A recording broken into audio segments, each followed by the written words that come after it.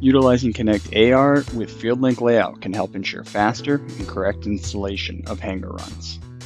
QA QC before the pour, ensuring everything is in the right place for DING install as seen here.